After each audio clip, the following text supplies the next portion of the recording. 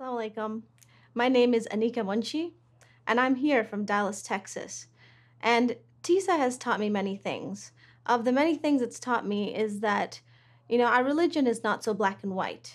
It's taught me to become a more tolerant Muslim.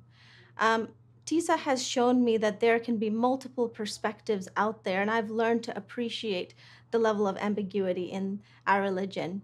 TISA has taught me to confront my own biases and learn to tolerate other people's perspectives and to see that there is a vast spectrum of different opinions out there.